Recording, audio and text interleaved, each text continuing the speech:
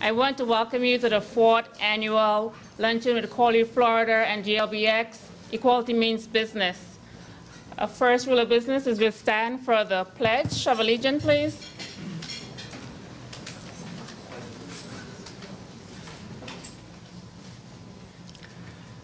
I pledge allegiance to the flag and the United States of America and to the republic for which it stands, one nation, under God, indivisible, for liberty and justice for all. Thank you. You have a seat.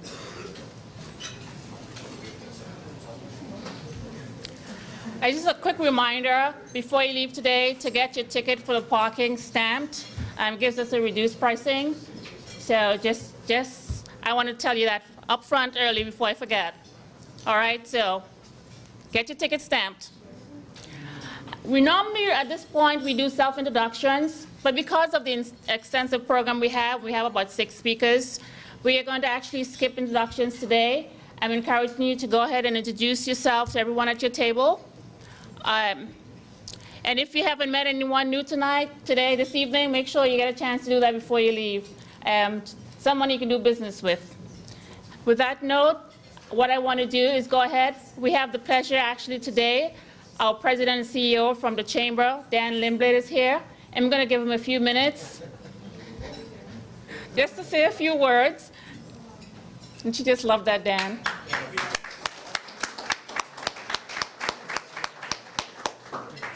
Thank you, Karen. I have some salad in my mouth, so I'll move on. It caught me by surprise there. Good afternoon, everybody. Afternoon. I just got back into town, and I was at my nephew's wedding up in Pennsylvania, in uh, Elizabethtown, Pennsylvania, Amish country. And I got to tell you that it was hot up there, and it was it was a lot hotter than it was here. Uh, but I'm glad to be back. Uh, middle of summer, we're in our summer sizzle campaign for membership. Hopefully, you've all heard about that, and you're referring people to get yourself in for those prizes. It really is, though, Karen, a, a, a, an honor to be here. I missed last year's uh, lunch. Uh, but for me to be here and listen to the great speakers you have lined up to talk about something very important to us here in South Florida, in the United States for that matter, and in the world, and that's equality for everyone. And so I'm pleased that this chamber was the first chamber to be the full service chamber, pardon me, to incorporate the GLBX Council in the state of Florida. I don't know if any of you know that, but when Mark Budwig came to me about uh, seven years ago and said, Dan, what would you think about creating a gay and lesbian council? And I said, is there a need for that? And he said, yeah, I think so. And I said, one thing, I said, as long as it doesn't be an island in and unto itself. And I got to tell you, the GLBX Council at the Greater Fort Lauderdale Chamber of Commerce has been one of our best, most active, thriving, incorporating councils in the chamber. So I think the GLBX Council deserves a round of applause.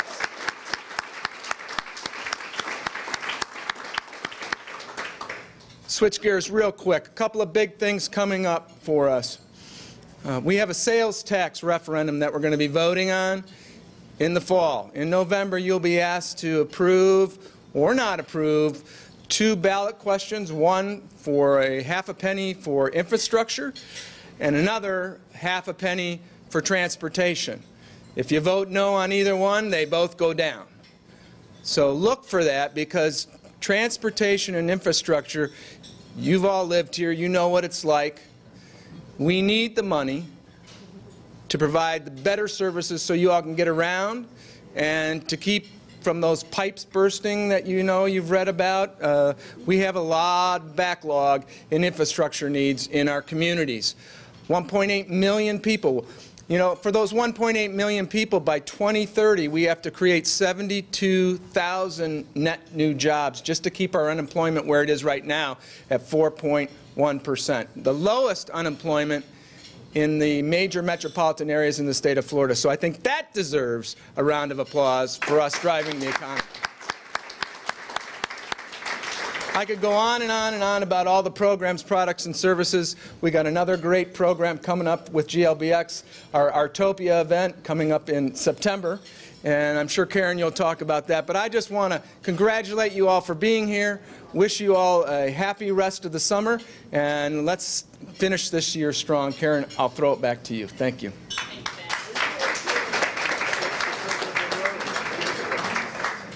Thank you. Thank you, Dan. As you mentioned Artopia, I'll go ahead and throw it out there so we can put it on our date. Save your calendar. Save this date. September 24th. It's going to be at the NSS, NSU Museum on Las Olas for the second year.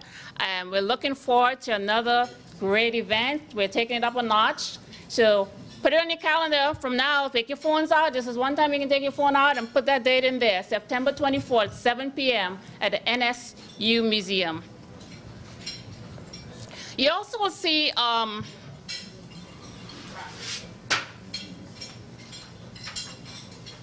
you'll see this on your table.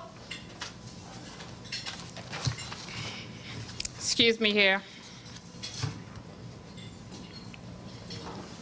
LGBTQ dynamics in the workplace, Equality Florida and GLBX are going to be putting a workshop together um, sometime in January, towards the end of January. So look forward to this. If you're interested in wanting to sponsor or to help make this a very successful event, go ahead and fill the information out and turn it in um, to one of the board members, and I'll have them stand a minute. Any board members that are here, can you please stand?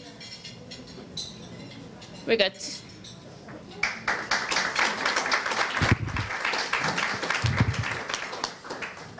I also want to recognize the, uh, the Equality Florida staff members. Do we have any staff for Equality Florida? Can you please stand so we can recognize you, please?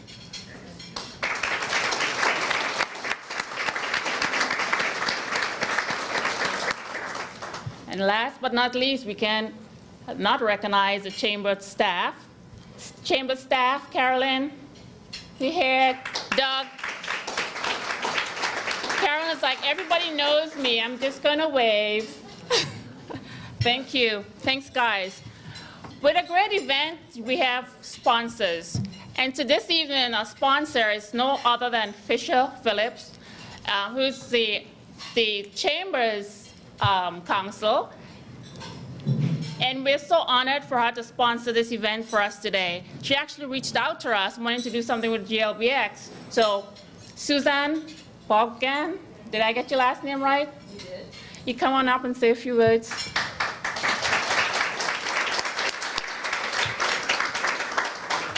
Thank you.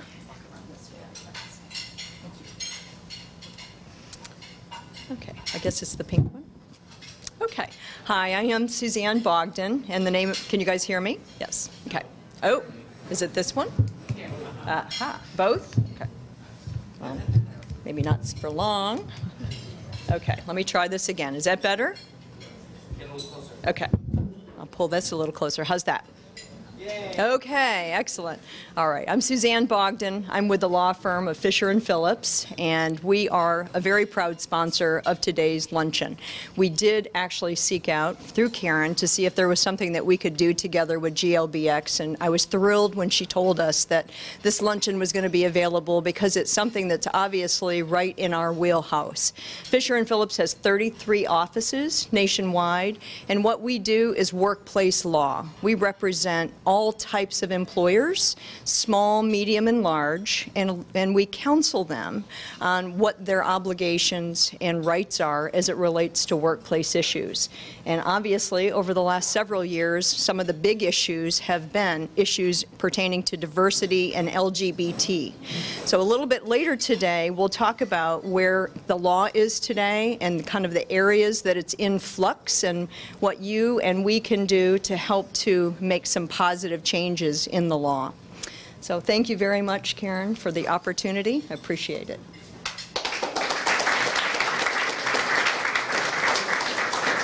Thank you, Susan. Fisher Phillips. Without further ado, we have um, a lot of great speakers today. And we are so fortunate to have Stratton from Equality Florida, Stratton is the deputy, deputy director of Equality Florida, and he also is a co-founder of Equality Florida. He's actually going to be moderating um, today's event, and he's, he's going to come up and explain the process, because as you probably see, the speakers are not up here, so he's going to be bringing them up um, probably one at a time to talk, or two at a time, and he'll explain that process. Please put your hand together for Stratton, Paul, Thanks.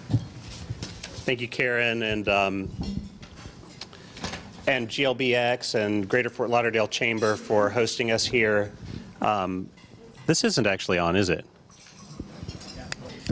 They are? No? This, this one seems to work a little better. All right.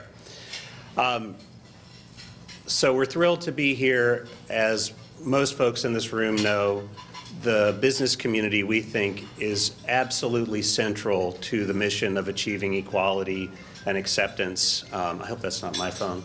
Um, across Florida. And, you know, we got a really powerful reminder of that in the wake of the horrendous Pulse massacre last month.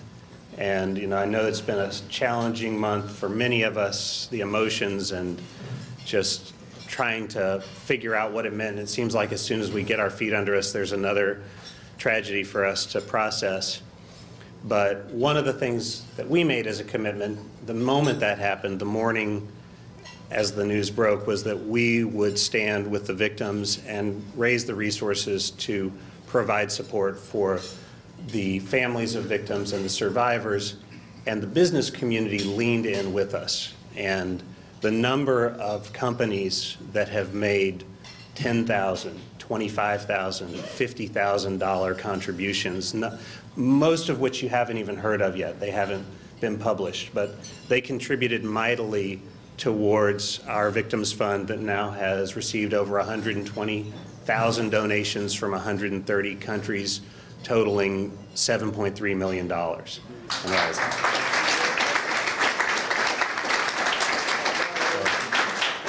So I just, you know, I want to say a big thank you to the business community because if anyone ever doubted that corporate America has been at the forefront of the struggle for lesbian, gay, bisexual, transgender equality, that was just another exclamation point that you're with us.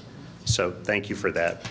Um, Today, what we're going to do is we're going to have a number of, as you've heard, really exciting speakers, and we're all going to give brief presentations, and then we're going to open it up for questions at the end and pass a microphone around as you have questions. So be thinking as you hear from folks if you have a, a question for one of our speakers.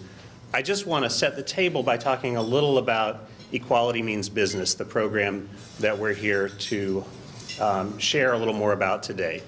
So we, we formed this program um, about six years ago out of a recognition that the business community was at the front of this struggle and out of a desire to spotlight the companies in our state that really were um, standing with us in terms of their policies of diversity and inclusion. And we wanted to lift them up and, and to share with everyone why corporate America is doing this in companies large and small.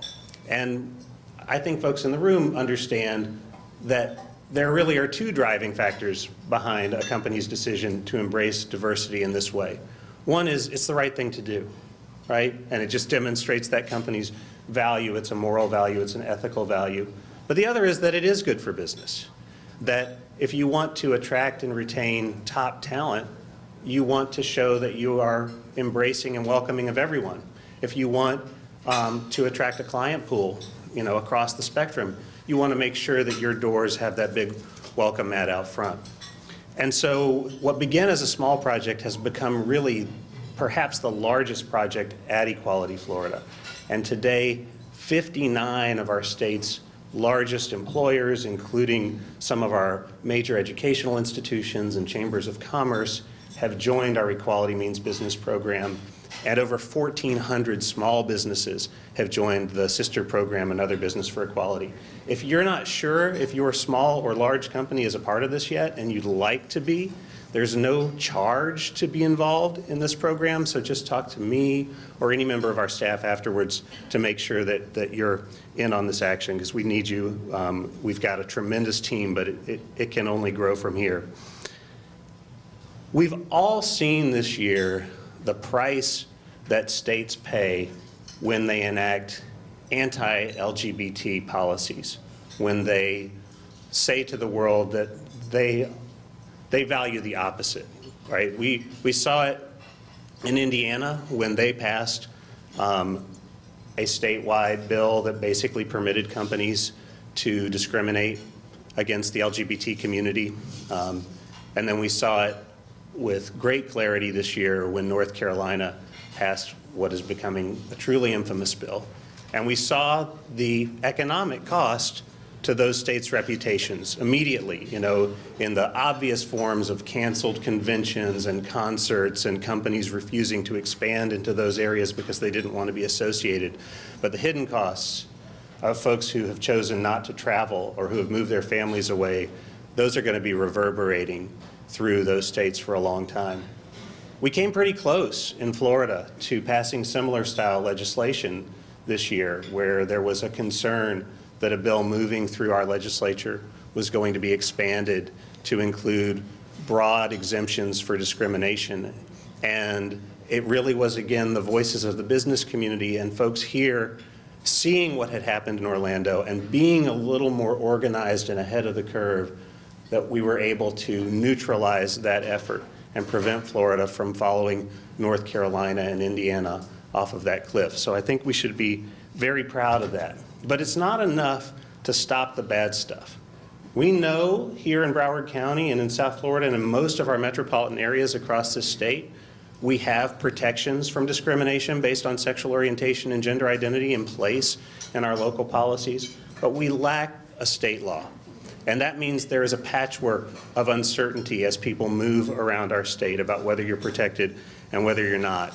And last year, in partnership with our fund, we commissioned an intense research paper that showed that the cost to Florida every year of not having those statewide protections, and this is a very conservative estimate, is $362 million a year in lost revenue in money companies spend retraining people because it increases employee turnover when there is this instability that a lack of protections creates.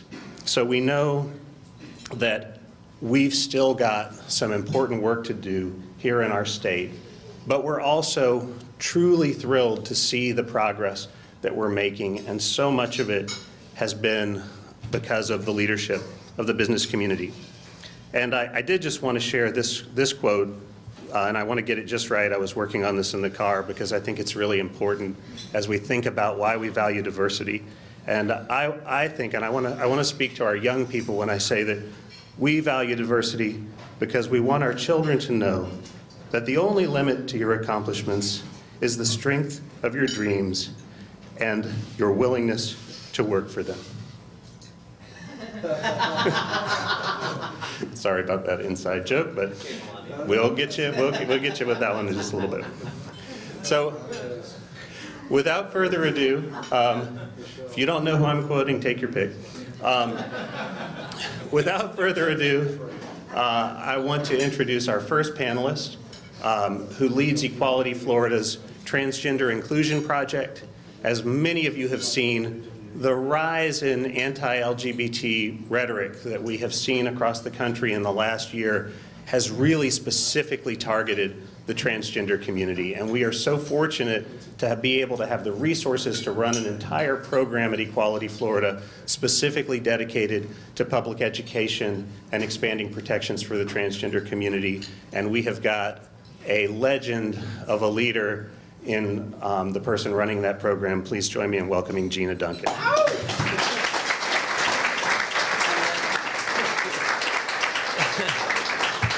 Oh, thank you so much. It's a pleasure to be with you. I, I was just at a conference out in Portland, Oregon, and I think for the first time in my life, I was called a legend at that conference and being, and I don't know if that's a good thing or not. It- I don't feel old enough to be a legend, but uh, I'll take it. It's a pleasure to be with you. Um, I did write my speech myself.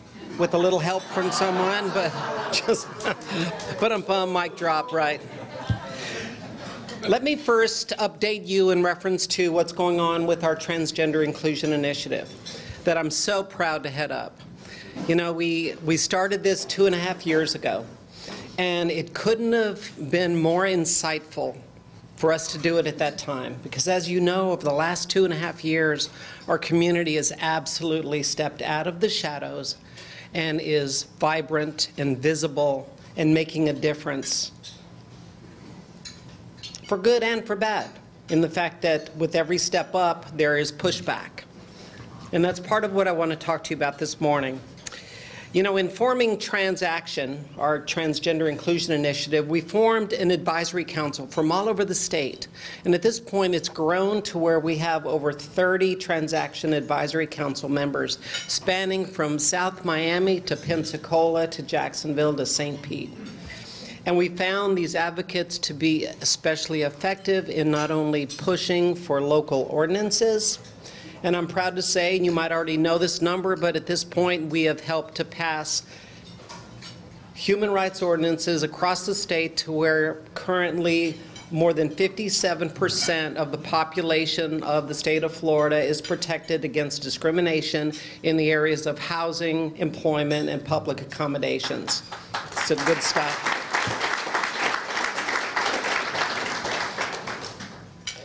Transaction has been a large part of that, but it has also been directly due to the support of our business community.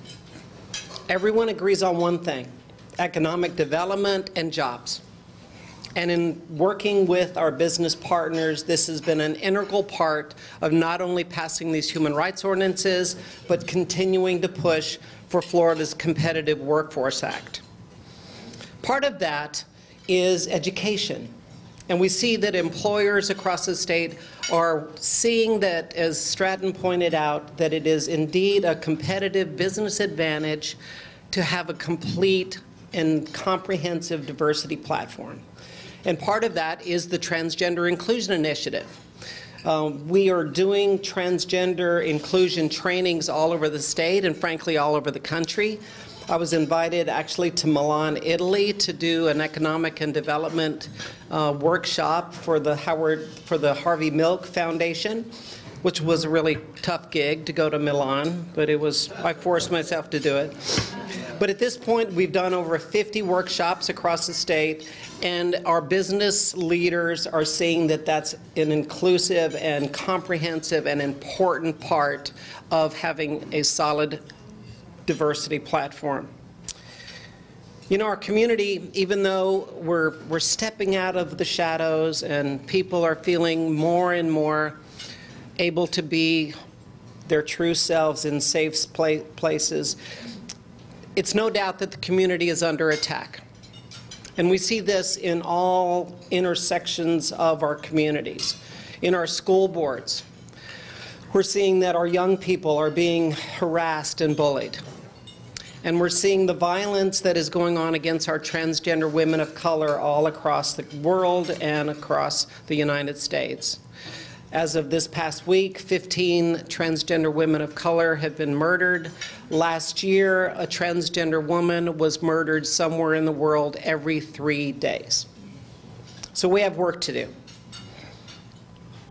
You know, discrimination and violence is something that is no stranger to our community, but working together, we can overcome that. And part of that is eliminating discrimination in all its forms.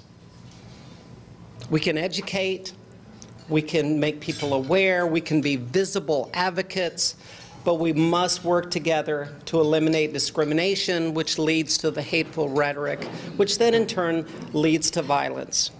And that's where we can all partner and join arm in arm in moving forward on the Florida Competitive Workforce Act. Part of our action moving forward is to do just that, is to educate and to make people aware of the fully inclusive capabilities that Equality Florida can do to support all of our business partners in moving forward on this. We're so pleased that you're here today.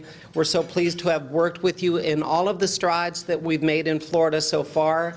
There is still work to be done, but together we can truly get it done, and we can honor the victims of Pulse with our actions to complete eliminating discrimination in the state of Florida. Thank you.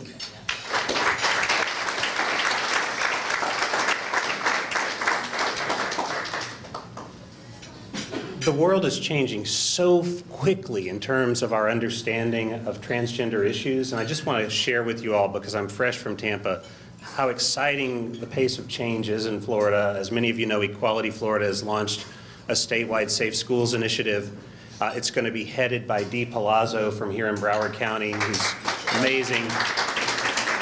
So just yesterday morning, Dee was in Hillsborough County, where there was a required training with one specific purpose, which was to train on transgender issues in the school setting. And it was required of every single elementary, middle school, and high school principal, assistant principal, and area leader. And it was opened, 425 school leaders came together just for this for two and a half hours at an event opened by the superintendent and the school district attorney. That's, that's the kind of public education we're seeing that's going to change hearts and minds. This work is truly nonpartisan work. It really is. And we are so fortunate to have champions on both sides of the aisle.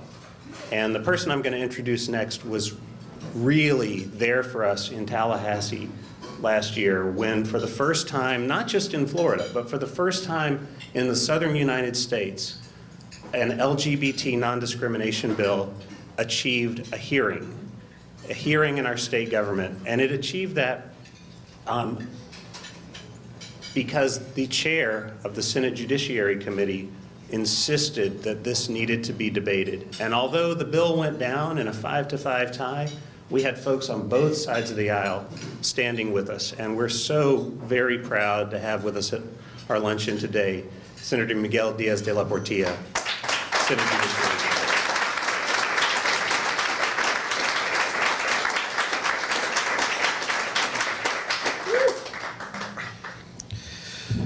Well, th- thank you very much. It's, uh, it's tough to follow a legend. so, um, and my remarks uh, weren't written by anybody. In fact, I haven't even written them myself. I'm going to just speak extemporaneously and, and, and speak from the heart. Um, I think anybody who uh, lives, um, who's around these days and watches what's going on in the news, whether it's the uh, terrible attacks at Pulse, what happened in Nice, France, and what happens and what has been happening in, in our world, has to, to, to realize that we all have to do something to fight against hate and to fight against ignorance. I think that most of the actions that we see, or hate-inspired actions, stem from ignorance. Ignorance and fear. Fear of what other people are like, what other cultures are like. And so we have to do everything, those of us who are in a position to influence others that we can to fight against ignorance and fight against hatred and fight against fear. I think it's imperative for the state of Florida to adopt the Competitive Workforce Act. And I'm here today to commit to you that I'm going to do everything in my power to make sure that that is the law in the state of Florida in 2017.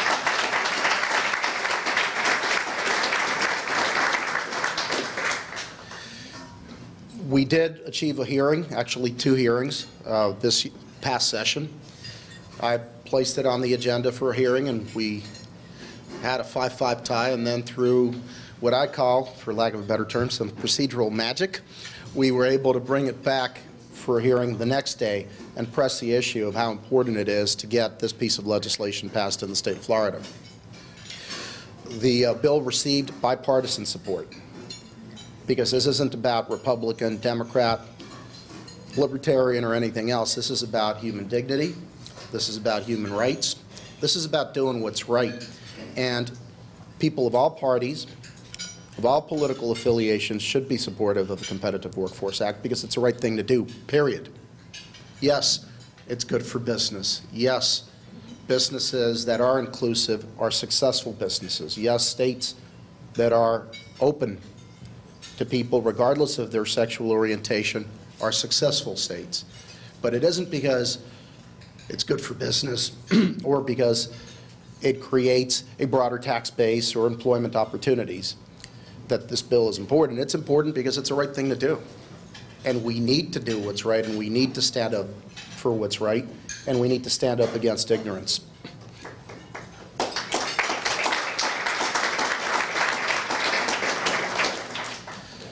So, working together with Equality Florida and all of you in this room, I think we need to have a strong push next year in Tallahassee. It's not enough that we had one hearing or two hearings. We need to make sure that this gets to the floor of the Florida Senate, and I'll do everything that I can, and I'll be in a good position, hopefully, God willing, to be able to do that, in a leadership position, to be able to make sure that the bill goes to the floor of the Senate and passes out of the floor of the Senate. And there's work to be done in the House. There's a lot of work to be done in the House.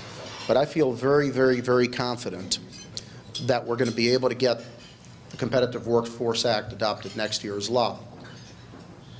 And it's sad and it's terrible that sometimes tragedy, the unspeakable tragedies that have gone on in the world, you know, happen.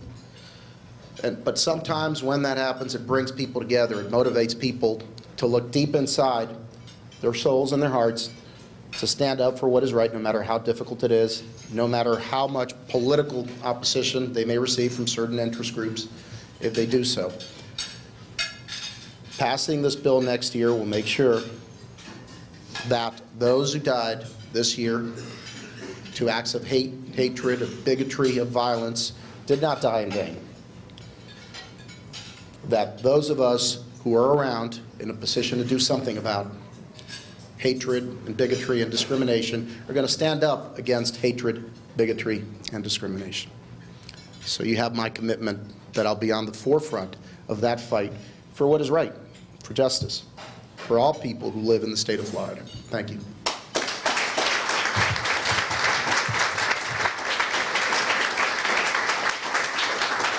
I'm here to answer any questions if anybody has any. Okay, absolutely.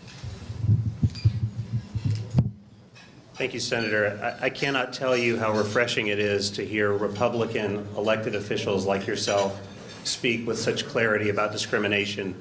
As many folks know, the, the House lead sponsor of this bill, Holly Raschein, is also a Republican, truly a bipartisan issue.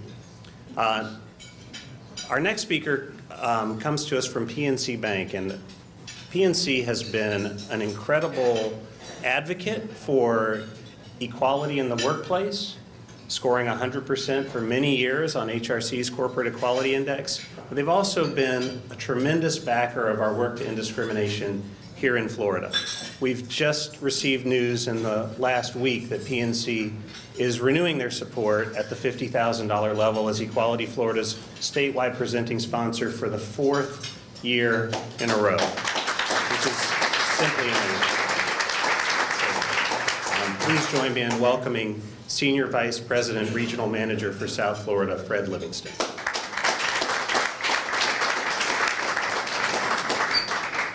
Good afternoon, everybody. My job is done, the speech is given, uh, but I am delighted to be here. You know, when I listened to the comments that were shared by the senator and by Gina and others, and it talks about that company, I'm really proud to say that I work for that company. And, you know, we talk the talk, but we walk the walk. We do it every day. And so I want to share a little bit about our story and how we got there because although PNC Bank is 150 years old, here we go with the plug, you ready? 150 years old, 2,700 branches, 57,000 employees, that's the plug. But we're really just a community bank. We're a Main Street bank that has a heart. And it's that heart that leads us to our connection to diversity, inclusion, and LGBT. The fact that I'm a corporate executive with PNC Bank and I'm an openly gay man and married and all that other stuff is really irrelevant as far as I'm concerned, because I'm not that political guy. But I am very committed to making sure that our team members know that when they come to work every day, that they're allowed to bring themselves to work every day. I take it for granted. But I was in a meeting just the other, actually on Monday, 9 o'clock, and I'm having a conversation with one of our vice presidents up in Boca Raton. I need to be careful how I say this. Actually, I'm not going to say it. Um, But it was apparent, let me just point at them and say, it's that woman over there. Um, But it was apparent to me in that conversation that this person was not 100% comfortable in bringing their whole self to work. And I found that really startling. With all the work that we do as an organization, whatever we do every day, we still have so far to go. There's still far too many people that are afraid. And just before preparing to come over and speak with you all today, I was pulling up some information about the company, and I just came across something that was just recently announced. And it came that we were recognized as one of the 100 companies by Affinity Incorporated magazine for 2016 because of our commitment to LGBT empowerment. So I was kind of pumped. I'm like, I didn't even hear about this until I pulled it up. But it's, and it's not easy to get there. And the way that we got there as an organization is we're recognized because we have these things called EBRGs. You ever heard of them? Employee-based resource groups. It's a little confusing to me, but what it does is it means that we support the employee's right to get together and talk and work together and, and promote themselves. But it also means that we've committed to working with organizations, suppliers that are equally as committed to LGBT. But even with all those recognitions, the opportunity continues for us to drive that message to all of our team members. So while I think we're making great strides, and we are, we have so much further to go. You've heard the comment a number of times today. We do this because it's not just a social, socially responsible thing to do, it's a financially responsible thing to do as well. But we still have to continue to drive and, and share that message. You know, as, as a regional, I have the pleasure of corresponding and communicating with the market. But you know, have you ever come in and you had that letter sitting on your desk and it says experience? And we're all branded on experience, but I want to read something to you that talks about us walking the walk. Just give me a second because I'm now at that age. Jeez. Obviously, the person who wrote this is a lot younger than I am. So here's how the letter reads My experience. Dear Mr. Livingston, greetings. As a transgender woman, male to female, who has experienced a great amount of discrimination throughout my life, I'm always concerned about the way I will be treated when going out into public. Many people treat transsexuality as a big joke. Thankfully, the social, through social awareness about transgenderism, things have gotten better. But transgender is not easy, it's challenging. I frequent, I frequent one of your branches regularly. I wrote a letter to you about a couple years ago, not to me, to the bank, But the excellent service that I received, and I was compelled to write the letter again. I was compelled to do so because the customer service, the reception that I receive is always good. I'm always greeted with respect. I always get a big smile from the tellers and the team within. You make me feel so comfortable and welcome. So when I think about LGBTNA, I think we've made some great progress, but we still have so far to go. So the message that I would deliver, yes, it makes good sense. It's a message that you have to live every day. You have to walk the talk every single day in order to make it right uh, for the team members that have the voice and for the team members that don't have the voice. So with that, ladies and gentlemen, thank you so much for allowing us to, or allowing me to be here today. And I'll turn it back over to Frank.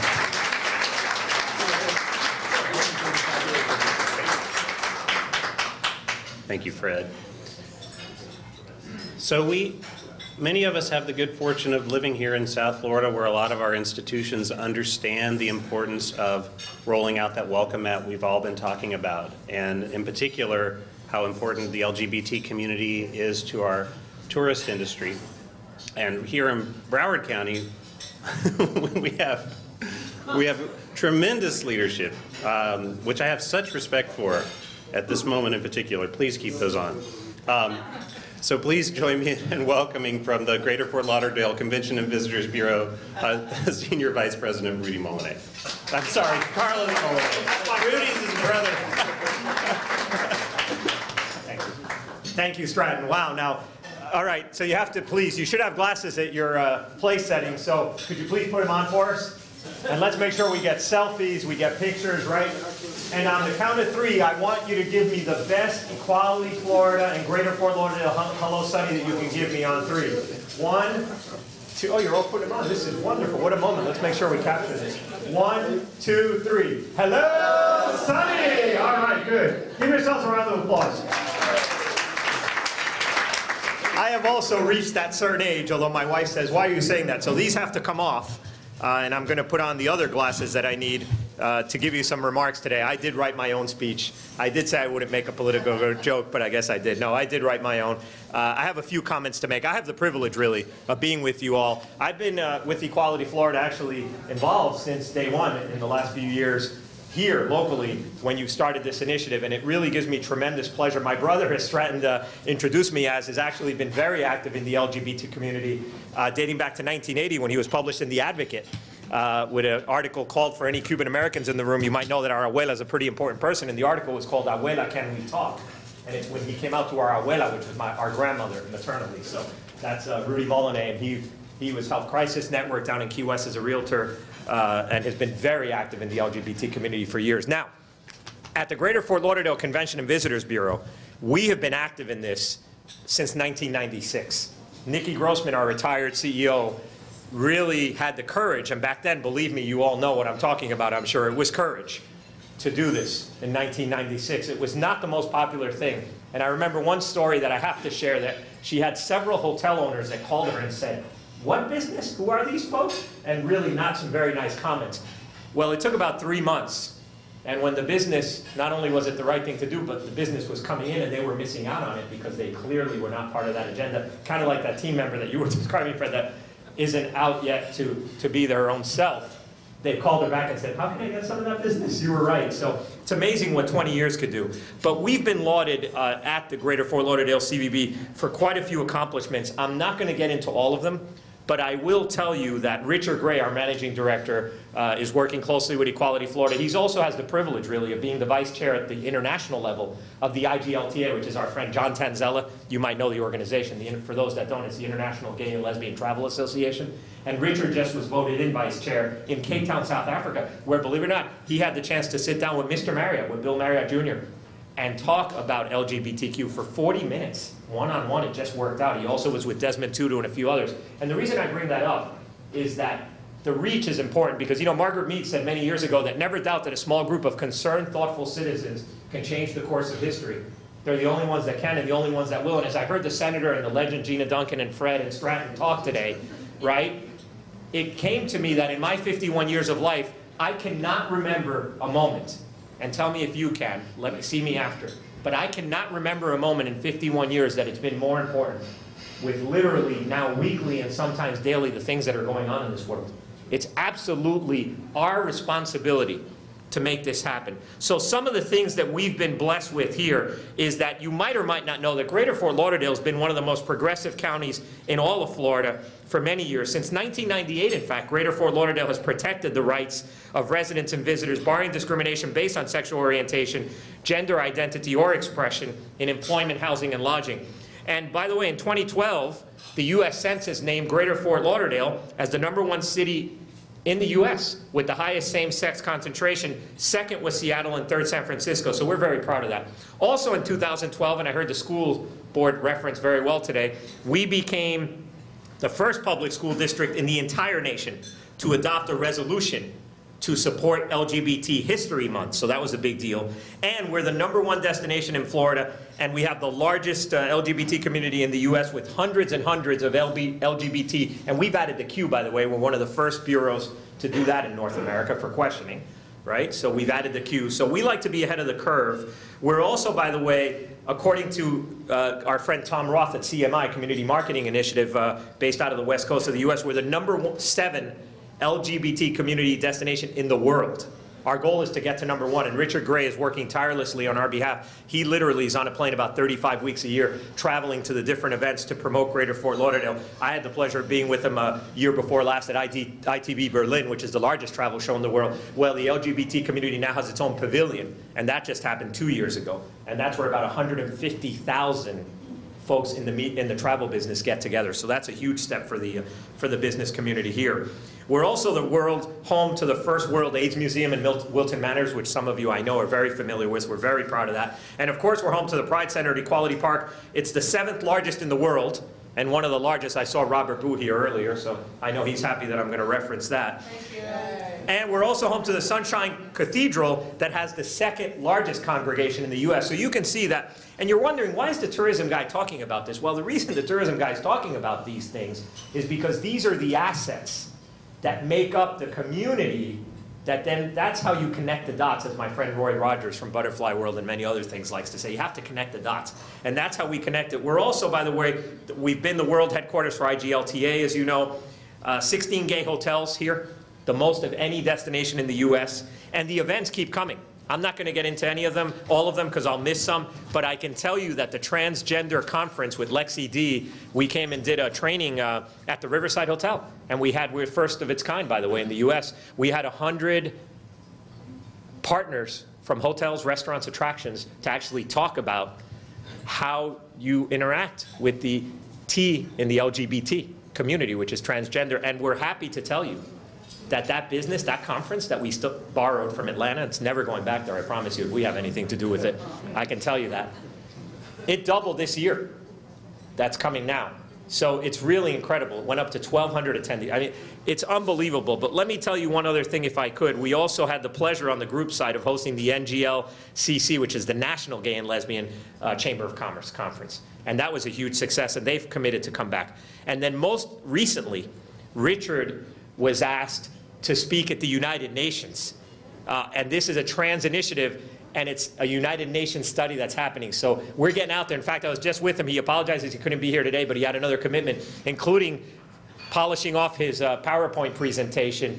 He's going to speak on our behalf in Buenos Aires, Argentina, as part of this UN study for transgender. So I can tell you, and you can rest assured if you're not already, that our CVB, our Tourism Bureau, our destination marketing organization here in Greater Fort Lauderdale, is poised, ready to roll. We did something in my 12 years in market, I was a hotel executive prior. One of my proudest days was when we got out there and we were one of the first, actually the only one at the time, to endorse marriage equality. We put our name on that right away. And what we did is we launched an initiative. It was called Love is Love. How many remember that? Right? Color, right? Definitely a round of applause for Love is Love, right? Because love is love, right? I actually had the pleasure, this was really cool. I had the pleasure on the beach of being the officiant that day. And I ran into the same-sex couple, two ladies, at Anthony's Coal Fire and they remembered me big time. And it was such a momentous occasion. But we did, we took it one step further. It was an integrated campaign, two-page color spread in the New York Times. Not an inexpensive proposition. And then we culminated it exactly one month after the Supreme Court, here, this was ahead of the US Supreme Court, right, announced. We did a Love is Love ceremony where we had 100 couples. And love is love, so it was same sex, opposite sex, it didn't matter. Nikki Grossman actually and Judge Mel Grossman, her husband of 47 years, renewed their vows. So we did wedding and renewal. It was one of my proudest moments in my whole career. We did it at the W Hotel. And you know, when you pay talent, it's always interesting what you're going to get. And what we got was Lance Bass. You might remember him, former NSYNC, Dancing with the Stars, right? But we were lucky, I'll tell you, because Michael Turchin's his husband from Miami Beach. And they were so gracious. Lance, our publicist, actually was trying to get him out of the event, and he stayed. And that night, he had come on the red eye, and then that night he was going to New York to do Lance Loves Michael, I think the show is, and it was the wedding. It was a broadcast of their wedding on the E! Network, I believe it was, that night. And he came and he was amazing. A couple of things on the horizon. By the way, that same Love is Love won the statewide award named after Henry Flagler, the Flagler Award. First time an LGBT program has won a Flagler. And it was best of show. So the entire, the top award you can win there is best of show for any initiative. First time ever that an LGBT program, in this case Love is Love, won it in 2015, 2016. That's worth a round of applause. And then Another thing that we just launched, first CVB to do this in the New York Times is gay families. And I actually had the pleasure of being at a photo shoot last week over there at uh, Dania Beach. And we did this, and some of the images that we're seeing there with the gay families and the children, it's, it's phenomenal. So that's, we're at the cutting edge there, and that's where we want to be. We're also, and have been for years, now some have followed. That's okay, imitation is the greatest form of flattery, but for years, we were the only CVB in the world, not just the country, that had a designated department. Because you see, we don't treat it as a niche market. We treat it as a market. Because at the end of the day, it's a vertical market, just like sports and, and uh, sports marketing, just like groups and conventions, tourism sales to us, it's all equal. I guess I it kind of worked. It's all equal. All right, that was supposed to be a joke. All right, good. I won't quit my day job. And if you say that I sound like Gilbert Gottfried, you're in trouble with me. But there might be some other guy that's on CBS that I might remind you of. Hopefully that. But you can figure that who that is. All right, now, the last thing I want to tell you on the financial side, you got it, right? Ray Romano, yeah, I get it all the time. I actually played in a celebrity poker tournament with him in 2007 in Las Vegas. It was a hoot, two hours together. His brother is very funny, Brad Garrett. But anyway, final comment is this. If you thought that it didn't make business sense, let me just give you a feel, a flavor in this last year in 2015, record year for Greater Fort Lauderdale, by the way, fourth year in a row, over 15 million visitors. Of those 15 million visitors, 1.5 million were identified LGBTQ. And we know it's higher because you all know, as you said earlier, some still do not want to identify, unfortunately, but we want to change that certainly. So we know it's higher, but let's just go with the identified number, 1.5 million. They spent 1.5 billion dollars 1.5 billion would it be? Now, why that's significant is the following, and then I'll close. That that spend represents a 50% increase in what the non-identified LGBTQ customer was. So I think that speaks for itself in terms of the spend for this business. And in closing, I will tell you that we are committed, just like the senator's committed to get that bill passed, and thank you, Senator, for your leadership, because he's right, it's a nonpartisan issue. It's not an R attached to it, it's not a D, it's not an I, it's not an L. There's nothing attached. It's an issue of humanity, and it's an issue that's the right thing to do, and I cannot think again of another time more important than in 2016 with all the atrocities happening in this world, that we have to stand up for what we believe in and do the right thing. Thank you so much, and God bless you.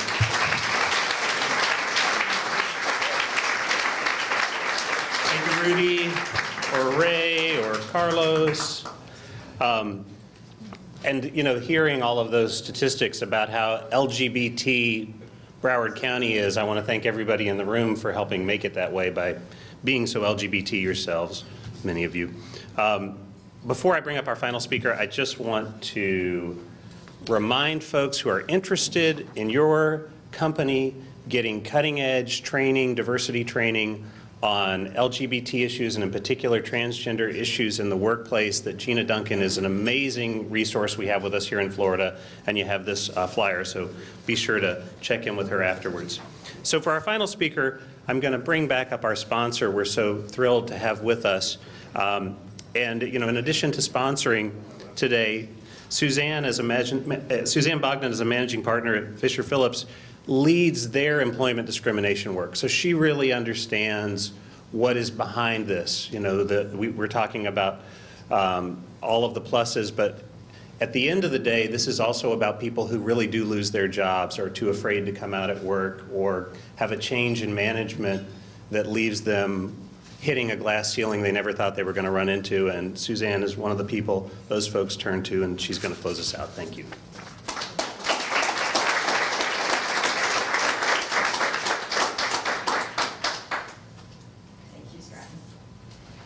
Okay, I know we're getting a little late in the day, and you've heard some of the issues that deal with the legal aspects of workplace diversity law. So I'm going to talk to you a little bit about what the status of the law is so that you can understand not only on the state level, but there are other areas too where there's still work to be done to increase those protections. So in the federal level, from the federal law standpoint, there is no protection in the statutory or constitutional law that would protect LGBT, sexual orientation, gender identity, anything, any of those rights. And so what's happened is, uh, wh- by the way, there has been a law that's pending for about 10 years called ENDA, uh, the Employment Non-Discrimination Act, and it has not passed. It's come up, and it's come up, and it's come up, and it has not passed. Um, What has happened in the meantime, then, is the Equal Employment Opportunity Commission. This is the agency from the federal level that enforces non-discrimination rights. They have basically taken the position that Title VII, Title VII is the law that prohibits discrimination on the basis of race, religion, national origin, those types of things. They've taken the position that sex in that law means gender, means gender identity, and sexual orientation. And so one of their agenda items for movement in the law has been, since 2012, uh, has been to move LGBT rights forward and to bring cases. And they have brought a lot of cases, they've gotten a lot of settlements. They have continued to get lower courts to agree with them that LGBT rights are covered under this law. But at the same time, there are a fair number of lower courts that don't agree. So what you have, if remembering back to same-sex marriage issues, you have the same kind of patchwork of laws that are working their way through the courts and the appellate courts, and eventually it's going to end at the Supreme Court. And there will be a decision at some point whether or not Title VII includes LGBT rights. You know, the other route to that, because there's an uncertainty that is there, is to continue with the good work that Equality Florida and other organizations are doing to lobby for ENDA or some other federal law that will secure those rights from a federal standpoint. And why is that important? It's important for some of the reasons we discussed today. People move from state to state. They move from job to job. And right now, there's nothing that is consistent across the United States or across Florida from a non-discrimination for LGBT areas. The other thing that you know, is there that we discussed a little bit is local laws. So right now, throughout Florida, there are a number of cities and counties, you know, that have various types of local laws that protect um, LGBT rights. But what you also need to know is while they're very strong in Broward, Miami-Dade, Palm Beach County, where probably most of us live and work, there, many of the laws only protect public employees. So there are a lot of areas in Florida that private employees that work for the small businesses have no protections. And so that, again, is another one of the reasons why there is a very strong reason to continue with legislative efforts. So, you know, as we look forward, you know, the other thing you need to remember is I've told you that the EEOC is doing a really good job on moving this law forward. I don't know what would happen if Donald Trump became president, you know. I don't know what will happen with the EEOC and their funding and their mandates to move this forward. So as we, you know, stand here today, you've got a wonderful organization that supported, you know, the law that was attempted to be passed in Florida to expand the civil rights. And it's important to continue with all of those good lobbying efforts to see if we can't get national and state laws that are consistent on these areas. So, thank you very much.